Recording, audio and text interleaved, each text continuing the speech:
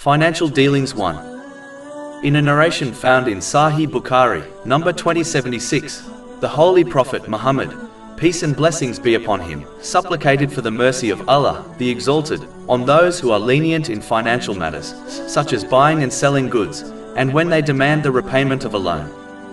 It is important for Muslims not to be greedy in financial matters, as greed pushes one towards the unlawful. Even if one avoids the unlawful, greed will deprive a Muslim of this supplication of mercy, as greed will prevent them from acting leniently with others. Put simply, greed takes one far from Allah, the Exalted, far from paradise, far from the people and close to hell. This has been warned in a narration found in Jami at-Tirmizi, number 1961. A Muslim must never take advantage of others by overpricing their goods especially in times of general difficulty, such as a financial crisis.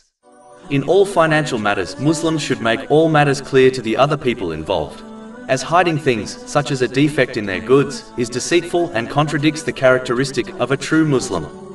In fact, a narration found in Sahih Bukhari, number 2079, warns that when people deceive others in financial matters, the blessings of Allah, the Exalted, are removed. This removes satisfaction with their wealth, irrespective of how much they obtain and possess. This in turn causes one to become greedier. The more one becomes greedy, the less peace they will obtain. Finally, when others are in financial difficulties, a Muslim should strive to aid them according to their means, as this leads to the constant support of Allah, the Exalted, in both worlds. This has been confirmed in a narration found in Sunan Abu Dawood, number 4893.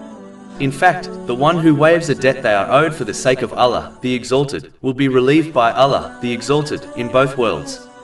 This has been advised in a narration found in Sunan Ibn Majah, number 225. Showing leniency and good conduct during business dealings will improve one's business reputation, which in turn will aid their business. So adopting leniency in matters of business leads to benefit in both worldly and religious matters. Finally, adopting leniency in matters of business will also ensure a Muslim understands that their business is not their number one priority in life.